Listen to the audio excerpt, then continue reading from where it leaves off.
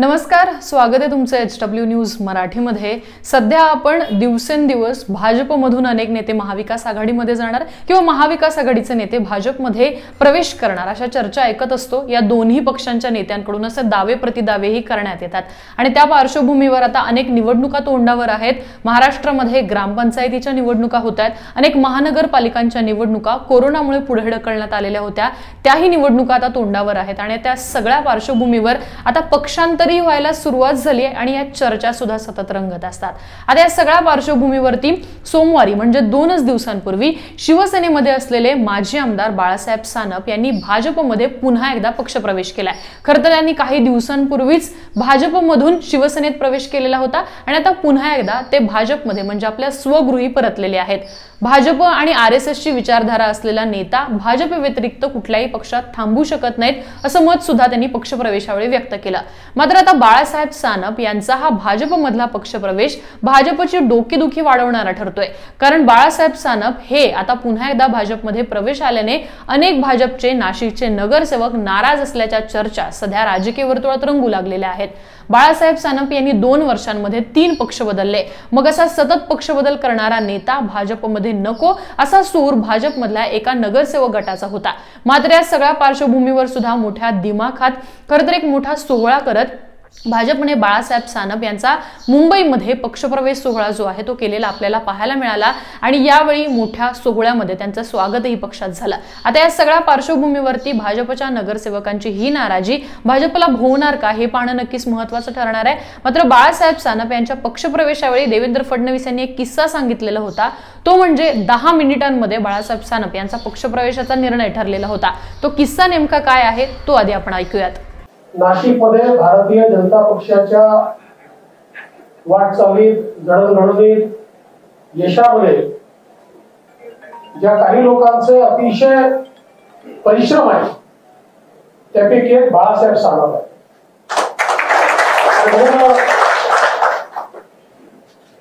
काही समज गैरसमज तयार झाले. त्या समज गैरसमजातून त्यांच्यात आणि आमच्यात अंतर तयार झालं. तर त्या अंतराचा परिणाम असा झाला की काही काळ ते आमच्यामध्ये नव्हते. परंतु ज्या काळात ते आमच्यामध्ये नव्हते त्या काळात मनाने ते आमच्यामध्येच होते.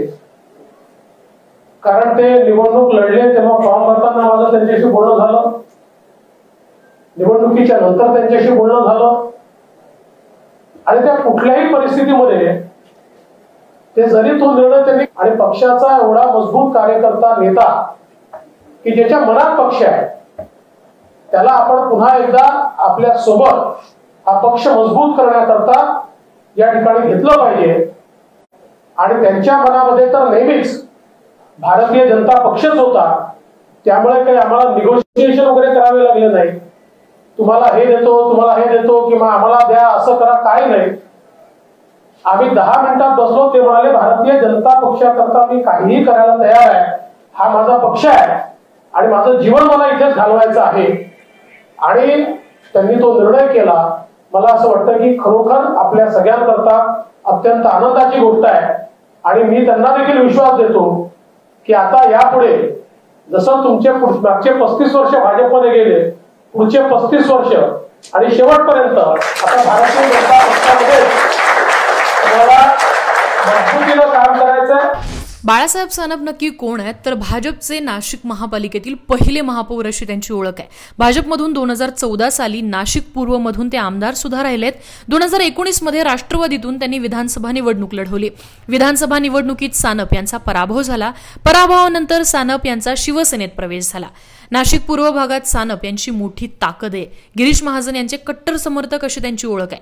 नाशिक महापालिकेवर भाजपला एक हाती सत्ता त्यांनी मिळवून दिलेली होती त्यामुळे बाळासाहेब सानप हा भाजपसाठी एक मोहरा असं सध्या ओळख मानली जाते बाळासाहेब सानप यांना भाजपने पुन्हा पक्षप्रवेशासाठी हिरवा कंदील दिलाय. त्यामध्ये नाशिक महानगरपालिका निवडणुकांचं मोठं गणित जे आहे ते सध्या मांडलं जात आहे कारण आता काही दिवसांनी नाशिकची महानगरपालिका निवडणूक लागेल आणि या महानगरपालिका निवडणुकीमध्ये ज्या पंचवटी परिसराचा दबदबा आहे सानप त्याच परिसरात राहतात. जवळजवळ चोवीस नगरसेवक या परिसरातून येतात आणि यापैकी पंधरा नगरसेवक हे बाळासाहेब सानप निवडून आणू शकतात असं भाजपला खात्री वाटते. त्यामुळे आगामी निवडणुकांच्या तोंडावर बाळासाहेब सानप यांना पक्षप्रवेश देण्यात आल्याचं सुद्धा बोललं जात आहे खरं तर नाशिक महानगरपालिका निवडणूक जर महाविकास आघाडी एकत्रितपणे लढली तर भाजपसमोर मोठं आव्हान असणार आहे. आणि त्यामुळं एक तगडं आव्हान भाजपकडून सुद्धा निर्माण करण्यासाठी सानप यांचा पक्ष प्रवेश केल्याचं बोललं जात आहे दुसरीकडे मनसेचा सुद्धा या निवडणुकीमध्ये मोठा दबदबा असणार आहे. त्यामुळे भाजपला आपलं जे आहे ते एक चांगलं आणि मोठी खेळी जी आहे ती करावी लागणार आणि त्यासाठी सानप यांचा पक्षप्रवेश केल्याचं बोललं जात आहे